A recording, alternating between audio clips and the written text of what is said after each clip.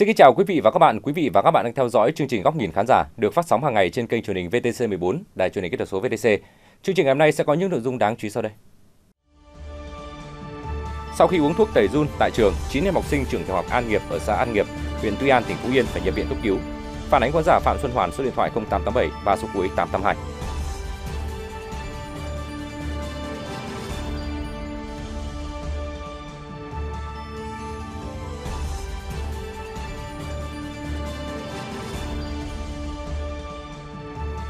Các hàng quán kinh doanh ăn uống tại khu vực có dịch bệnh đều phải tạm dừng, đóng cửa. Đối với người kinh doanh, dịch bệnh đang trở thành nỗi ám ảnh. Phản ánh khán giả Phạm Quỳnh Anh số điện thoại 0945 3 số cuối 258.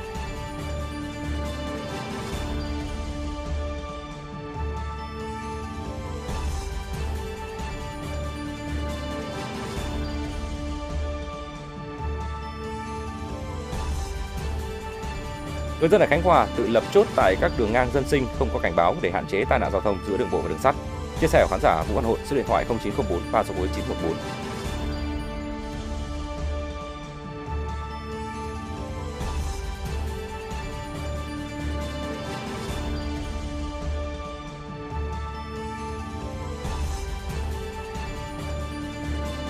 Phòng giáo dục và đào tạo huyện Trơn Thành, tỉnh Bình Phước đã và đang triển khai mô hình vẽ tranh sân trường, tạo không gian thân thiện cho bé với sự tham gia hưởng ứng tích cực của các cán bộ giáo viên, các trường mầm non trong toàn huyện.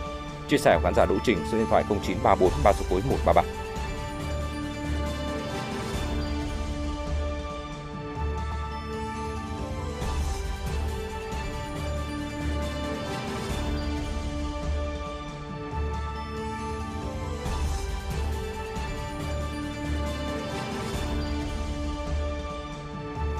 Cây seri trồng trên vùng đất biên giới An Giang đang cho tín hiệu tốt.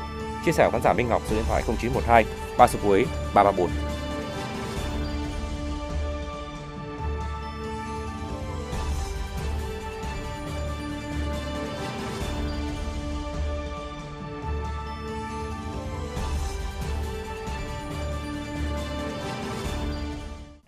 Thưa quý vị và các bạn, một câu chuyện đau lòng. 9 học sinh của trường tiểu học An Nghiệp ở xã An Nghiệp, huyện Tuy An, tỉnh Phú Yên đã phải nhập viện theo dõi sức khỏe sau khi uống thuốc tẩy run tại trường vào sáng ngày 7 tháng 5. Hiện sức khỏe của các em đã ổn định và tiếp tục được theo dõi tại Trung tâm Y tế huyện Tuy An. Và theo ông Huỳnh Văn Khoa, Chủ tịch Ủy ban nhân dân huyện Tuy An thì sáng cùng ngày, cán bộ y tế của trường tiểu học An Nghiệp đã cho học sinh của trường uống thuốc tẩy run. Nhưng mà sau đó thì 9 em học sinh có dấu hiệu bị mệt. Trong đó thì có 3 em bị choáng, các em còn lại bị đau bụng nên nhà trường đã điện thoại cho trung tâm y tế huyện Tuy An điều xe cấp cứu đến đưa các em đi bệnh viện. Và cũng theo ông Khoa, thuốc tẩy run mà học sinh uống thuộc chương trình tẩy run học đường cho học sinh và đang được triển khai tại các trường học ở Phú Yên. Có hơn 320 em uống cùng loại thuốc tẩy run nhưng mà chỉ có 9 em này phải nhập viện cấp cứu nên hiện nhà trường đã tạm dừng cho các em ờ, còn lại uống lô thuốc tẩy run này để các cơ quan chức năng kiểm tra và xác định nguyên nhân. Vâng thưa quý vị, ngay sau khi phát hiện ca nhiễm mới thì Đà Nẵng cũng đã có những động thái quyết liệt để ngăn chặn dịch COVID-19 lây lan. Và tại các tuyến phố ăn uống ở khu vực trung tâm thành phố Đà Nẵng vào lúc 12 giờ trưa ngày 7 tháng 5 thì nhiều nhà hàng quán ăn đã thực hiện nghiêm các yêu cầu phòng chống dịch COVID-19 của thành phố. Và sống tại nơi đã từng là tâm dịch thì hơn ai hết, họ hiểu được rằng phải hy sinh được những lợi ích trước mắt của cá nhân nhưng phải có được một cuộc sống bình yên mới sớm quay trở lại. Thành phố Đà Nẵng 12 giờ trưa ngày 7 tháng 5 năm 2021. Đối với gia đình người đàn ông này sẽ là những giây phút khó quên. Bởi lẽ đây là lần thứ hai gia đình ông phải đóng cửa quán ăn để phòng dịch Covid-19. Quán ăn của gia đình ông Võ Thanh Long nằm trên đường Huỳnh Thúc Kháng, phường Nam Dương, quận Hải Châu, thành phố Đà Nẵng, bán từ sáng đến chiều. Thế nhưng, trước tình hình dịch bệnh Covid-19 đang diễn biến phức tạp và Ủy ban nhân dân thành phố Đà Nẵng có công văn chỉ đạo các cơ sở kinh doanh, dịch vụ ăn uống trên địa bàn thành phố Đà Nẵng dừng kinh doanh trực tiếp, chuyển qua hình thức bán mang về. Ông Long cùng gia đình đã quyết định tạm thời đóng cửa. Năm ngoái cũng à, cũng có dịch Covid mà à, trong vòng à, hai tháng mấy giờ buôn bán được một một ký cho mấy. Ừ. rồi cũng à, tới giờ cũng bán được không bao nhiêu ấy. Cũng giờ dịch covid lại cũng cũng bán rồi, rồi. Cũng chấp hành của nhà nước cũng nghĩ nó chớ bán không có lời không có lời được cũng tạm nghỉ luôn cho rồi. Thì mình chờ hồi nào nhà nước có có quyết định lại thì mình bán thôi chứ giờ sao vậy vừa sáng là dọn ra là ngồi đứng luôn chứ bán không được luôn hạn chế bớt họ đi đó. là người dân họ nghe họ, họ nghe họ cũng sợ họ không cũng không tới quán họ ăn nữa. Tại các tuyến phố ăn uống ở khu vực trung tâm Đà Nẵng như Huỳnh Thúc Kháng, Hùng Vương, Phan Chu Trinh, Nguyễn Trí Thanh, lúc 12 giờ trưa ngày 7 tháng 5, một số nhà hàng, quán ăn thực hiện nghiêm túc yêu cầu phòng chống dịch của thành phố. À, cái phòng chống dịch นี้ nó phải đang đâu đang thời mấy đến mình là kinh nghiệm rồi. Anh được người dân tự giác cái là chính phủ như vậy là không hiểu không anh là cố có thực hiện theo thôi mình mình mình tự bảo vệ mình ai bảo vệ cho mình. Sức khỏe là trên hết. Anh được cố nghe rồi cố làm. Đúng. Đúng giờ cô dẹp ban dẹp vậy thôi. Thì bà mang về con khách tới mua rồi có vậy mọi giữ khoảng cách. Mang mang khẩu trang. Tuy việc thành phố Đà Nẵng chỉ đạo các nhà hàng, cửa hàng, cơ sở kinh doanh dịch vụ ăn uống tạm dừng phục vụ tại chỗ, chỉ được bán hàng cho khách mang đi nhằm đảm bảo an toàn sức khỏe cộng đồng trước dịch bệnh COVID-19, làm ảnh hưởng lớn đến tình hình kinh doanh của các nhà hàng, quán ăn. Nhưng đây cũng là cơ hội giúp các shipper kiếm thêm thu nhập. Trước diễn biến phức tạp của đại dịch COVID-19 tại các nước trong khu vực thì người dân nhập cảnh trái phép trở về nước tránh dịch từ Campuchia đang ngày càng gia tăng. Và trước tình trạng này thì tỉnh à, Long An, địa phương có chung biên giới với Campuchia đã siết chặt đường biên giới kể cả đường mòn lối mở, ngăn chặn mầm bệnh COVID-19 xâm nhập vào nội địa. Trên tuyến biên giới Tây Nam, đồn biên phòng cửa khẩu Mỹ Quý Tây Long An đang phụ trách đoạn biên giới gần 14 km. 12 chốt kiểm soát phòng chống dịch COVID-19 ở dọc các đường mòn, lối mở luôn đảm bảo trực 24 trên 24 giờ. Nhờ lá chắn thép này, đến nay địa phương chưa phát hiện trường hợp nhiễm, nghi nhiễm COVID-19 nào. Ban đêm chia thành 7 tổ, gác ở 7 vị trí, à, thường xuyên tuần tra kiểm soát, à, tuần tra kiểm soát người qua lại biên giới. Cái thứ hai cũng có ờ, các ờ, bà con ở trên ờ, đi làm ruộng này kia, người ta hỗ trợ, do người làm mặt này kia người ta sẽ thông báo, người ta có nguồn tin của nhờ quần chúng nhân dân thêm nữa.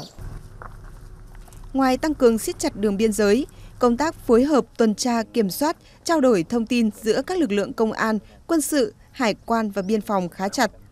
Qua đó, tình trạng buôn lậu và đưa rước người xuất nhập cảnh trái phép được ngăn chặn hiệu quả.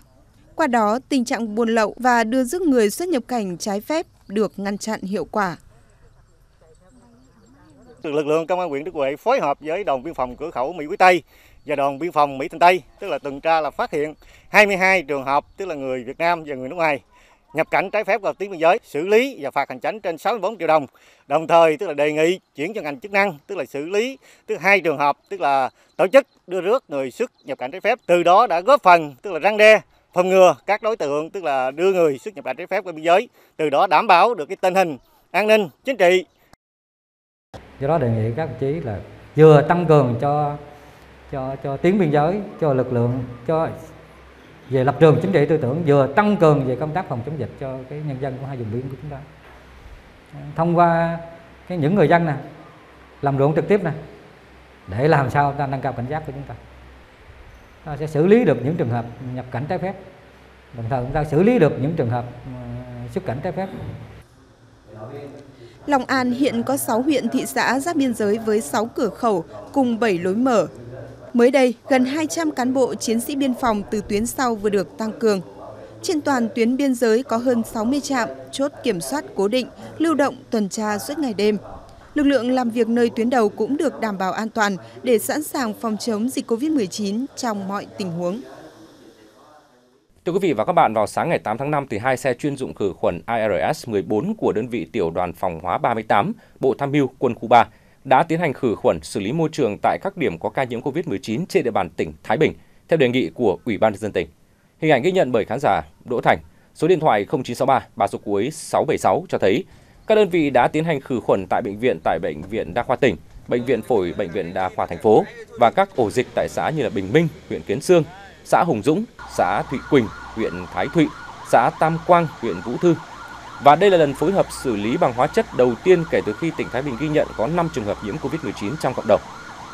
Và cũng được biết là xe khử khuẩn chuyên dụng ARS-14 có dung tích khoảng 2.700 lít và có thể khử khuẩn khoảng 3 km đường.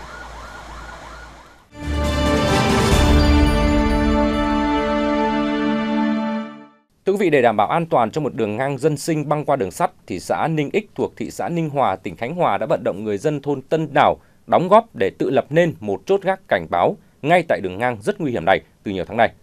Chốt gác dân sinh hình thành ngay tại đường ngang qua đường à, sắt Bắc Nam để ra quốc lộ 1 mà người dân thôn Tân Đảo vẫn sử dụng hàng ngày.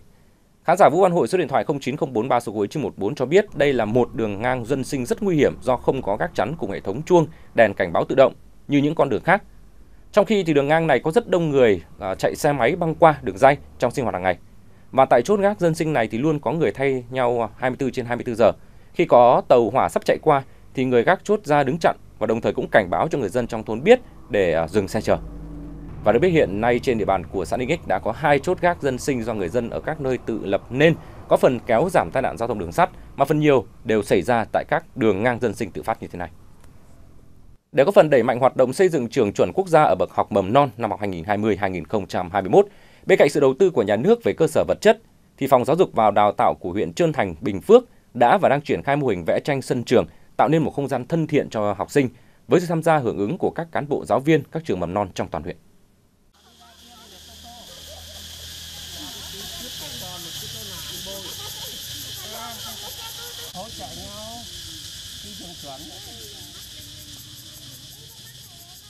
Trong năm học 2020-2021, huyện Trân Thành sẽ phân đấu hai trường mầm non Sao Mai và mầm non Minh Thành đạt chuẩn quốc gia.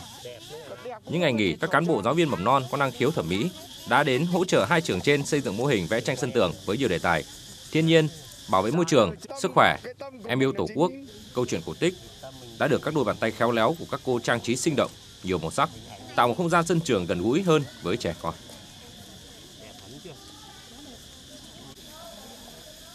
À, bản thân là một giáo viên cảm thấy đây là một hoạt động vô cùng thiết thực.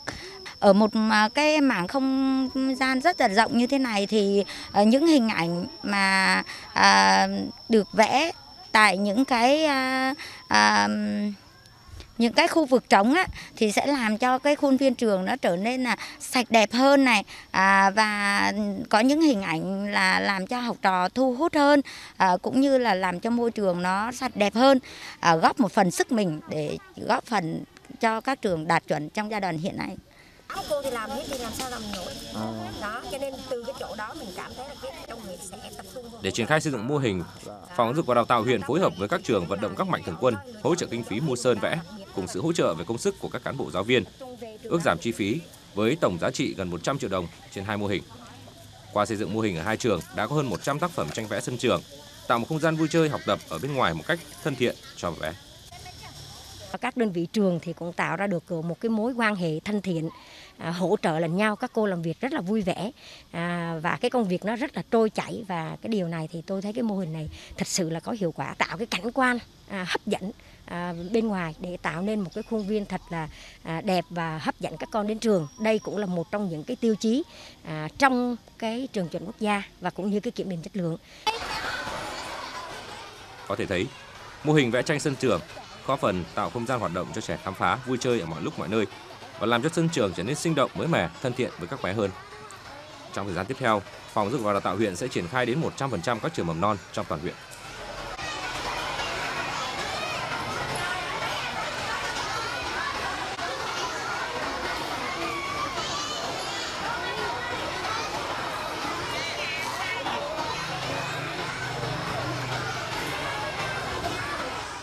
Thưa quý vị, những năm gần đây thì cây seri được nhắc đến nhiều ở vùng đất Gò Công, tỉnh Tiền Giang. Và hiện nay thì tại thị xã Tân Châu, tỉnh An Giang với điều kiện thổ nhưỡng và nguồn nước tưới dồi dào hợp lý, cây seri đã bén rễ và phát triển, có phần nâng cao kinh tế nông dân và tạo việc làm cho nhiều lao động nông thôn nhàn rỗi tại các địa phương. Vùng đất trồng nhiều seri của địa bàn xã Tân Châu tập trung nhiều tại xã Phú Vĩnh. Với đặc tính cây seri là loại cây dễ trồng, dễ sống, nhẹ công chăm sóc, không đòi hỏi nhiều kỹ thuật cao, cây phát triển nhanh và cho trái quanh năm. Bình quân 1.000 m2 trồng seri có năng suất từ 500 đến 700 kg một vụ. Những lúc trúng mùa, năng suất có thể lên đến 1 tấn. Mỗi cây seri được trồng cách nhau gần 5 m. Tầm cao khoảng 2 m. Cây seri từ lúc trồng đến thu hoạch mất khoảng 6 tháng. Mỗi đợt thu hoạch cách nhau 40 đến 50 ngày và cây seri càng lâu năm thì trái càng nhiều. Chính vì vậy, nhiều nông dân đã mạnh dạn mở rộng diện tích sản xuất thấy kết quả cái bắt đầu có là mình mở đất rộng rộng ra ngoài bị tôi tôi điện nước này kia nhà mình có đầy đủ hết giờ mình mở bây giờ ra cũng được ờ, là ờ, cái số sinh viên lớn của mình mình đang bẻ bây giờ là 40 cọc để seri ra trái nhiều người trồng seri phải quan tâm đến việc tỉa cành, làm cỏ, dọn dẹp vệ sinh ngay sau khi kết thúc vụ thu hoạch để cây thông thoáng và tiếp nhận đủ ánh sáng. Trái seri được thị trường rất ưa chuộng nên đầu ra luôn ổn định. Thị trường tập trung chủ yếu ở thành phố Long Xuyên, tỉnh An Giang, thành phố Cao Lãnh, tỉnh Đồng Tháp. Không chỉ mang lại nguồn thu nhập khá cho các hộ trồng mà cây seri còn tạo việc làm cho nhiều lao động ở nông thôn thông qua việc thu hoạch trái. Bình quân mỗi ngày, một lao động kiếm được từ vài chục ngàn đến trên 200 ngàn đồng. Khoảng như 2 giờ, 3 giờ, 4 giờ sáng vậy đó. Thì đi nhiều thì ờ, nó nhiều ờ, đi sớm thì nhiều ký chứ không có gì trơn. Dạ. Còn bình thường thì trái ít đó thì ờ, vài chục ký một ngày vậy đó. Như mình bẻ thì một ký nó 2 ngàn. Và măng hoài ngày nào cũng măng. Cây seri đã bén rễ trên vùng đất Tân Châu, An Giang. Ngoài là một loại trái cây giàu giá trị dinh dưỡng, cây seri còn giúp nhiều hộ nông dân phát triển kinh tế gia đình và mở ra một hướng đi mới cho bà con nông dân trong chuyển đổi cơ cấu cây trồng phù hợp với nhu cầu thị trường. Thưa quý vị và các bạn, nhắc đến các món ăn đặc sản của Nam Định thì người ta sẽ nhớ đến món bánh gai, bánh nhãn hay là kẹo xíu châu. Nhưng mà không thể không nhắc đến món bánh xíu páo thơm ngon. Đây là một loại bánh có hình dạng nhỏ gọn và đã theo chân người Hoa đến vùng đất Nam Định từ nhiều đời nay – và cũng chẳng ai nhớ chính xác là siêu báo xuất hiện từ khi nào và chỉ khi biết rằng cái thứ bánh ấy bao đời nay được bày bán trên nhiều con phố và vẫn cứ tồn tại cho đến bây giờ. Hiện trên bàn của thành phố Nam Định có khoảng 10 cơ sở sản xuất bánh xíu báo nhưng mà chỉ à, có một cơ sở nằm ở số 28 Nguyễn Trãi, thành phố Nam Định là một cơ sở sản xuất có quy mô và làm ra rất nhiều sản phẩm.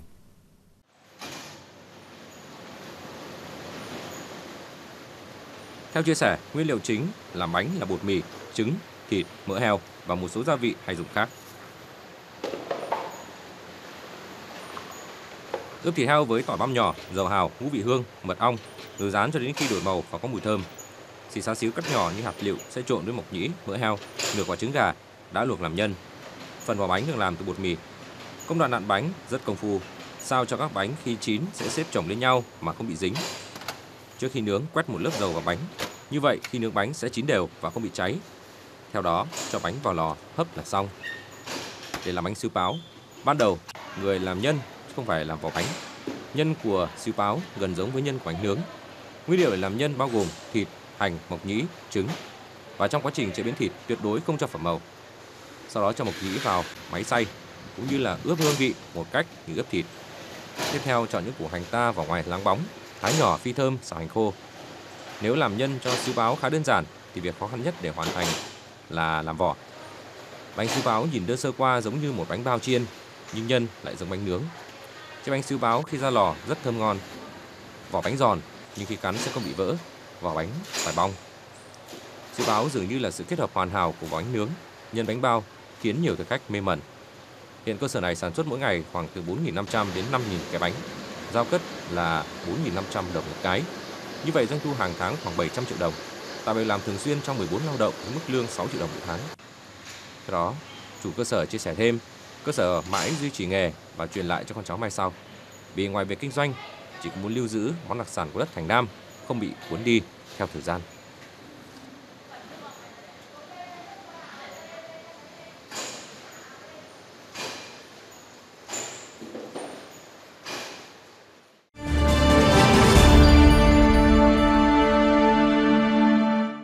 Cuối chương trình thì thường lệ mời quý vị và các bạn cùng điểm lại các clip đã phát trong chương trình ngày hôm nay.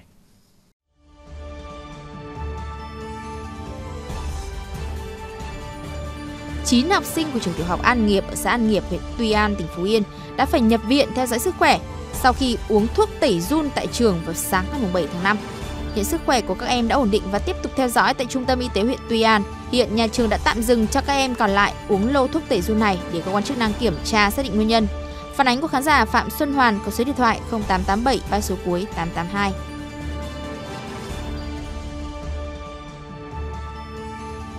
Phát hiện ca nhiễm mới, Đà Nẵng cũng đã có những động thái quyết liệt để ngăn chặn dịch bệnh lây lan.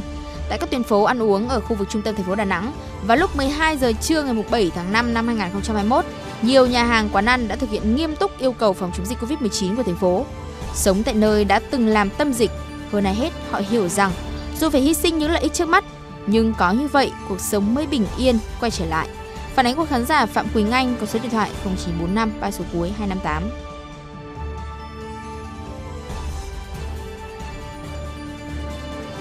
Trước diễn biến phức tạp của dịch Covid-19 tại các nước trong khu vực, người dân nhập cảnh trái phép trở về nước để tránh dịch từ Campuchia đang ngày càng gia tăng. Trước tình trạng này, tỉnh Long An địa phương có chung đường biên giới với Campuchia đã siết chặt biên giới, kể cả đường mòn, lối mở, ngăn chặn mầm bệnh Covid-19 xâm nhập vào nội địa. Phản ánh của khán giả Hà Mạnh Linh có số điện thoại 0975 ba số cuối 541.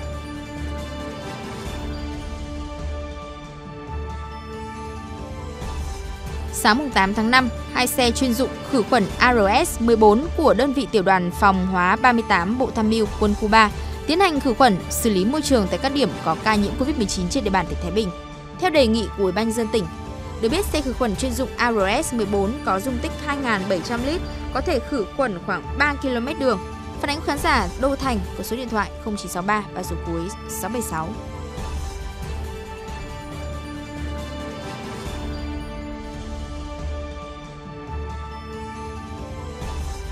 Để đảm bảo an toàn trong một đường ngang dân sinh băng qua đường sắt, xã Ninh Ích thuộc thị xã Ninh Hòa, tỉnh Khánh Hòa đã vận động người dân thôn Tân Đảo đóng góp để tự lập nên một chốt gác cảnh báo ngay tại đường ngang rất nguy hiểm này từ nhiều tháng nay.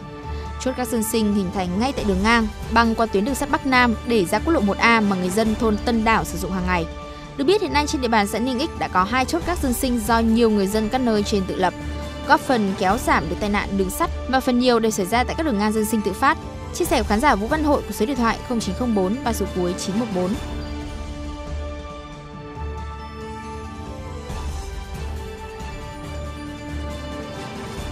Để góp phần đẩy mạnh hoạt động xây dựng trường chuẩn quốc gia ở bậc học mầm non năm 2020-2021, bên cạnh sự đầu tư của nhà nước về cơ sở vật chất, Phòng Giáo dục và Đào tạo huyện Trơn Thành, Bình Phước đã và đang triển khai mô hình vẽ tranh sân trường tạo không gian thân thiện cho bé với sự tham gia hưởng ứng tích cực của cán bộ, giáo viên các trường mầm non trong toàn huyện.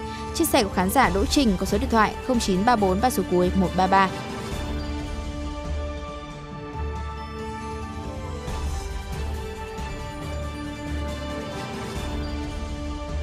Cây seri đã bén rễ trên vùng đất Tân Châu, An Giang. Ngoài là một loại trái cây giàu giá trị dinh dưỡng, cây seri còn giúp nhiều hộ nông dân phát triển kinh tế gia đình và mở ra một hướng đi mới cho bà con nông dân trong chuyển đổi cơ cấu cây trồng phù hợp với nhu cầu thị trường. Chính vì vậy, nhiều nông dân đã mạnh dạn mở rộng diện tích sản xuất. Chia sẻ của khán giả Minh Ngọc có số điện thoại 0912 và số cuối 334.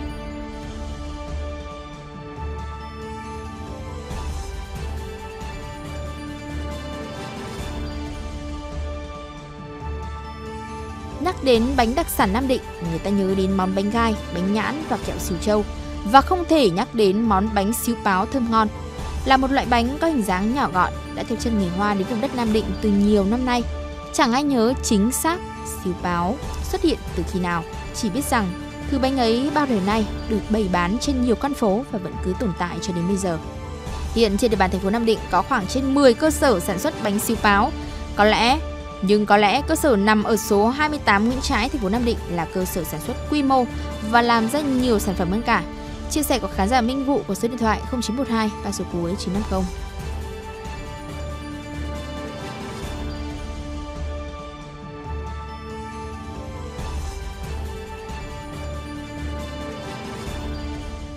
Chương trình góc nhìn khán giả ngày hôm nay của chúng tôi xin được khép lại tại đây. Nếu có thông tin hình ảnh cần chia sẻ, quý vị khán giả có thể gửi đến địa chỉ email góc nhìn khán giả, a vtc.gov hoặc quý vị và các bạn cũng có thể gọi điện đến số điện thoại liên lạc của chương trình, đó chính là 0904 88 1414. Kính chào tạm biệt và hẹn gặp lại quý vị và các bạn ở những chương trình kế tiếp.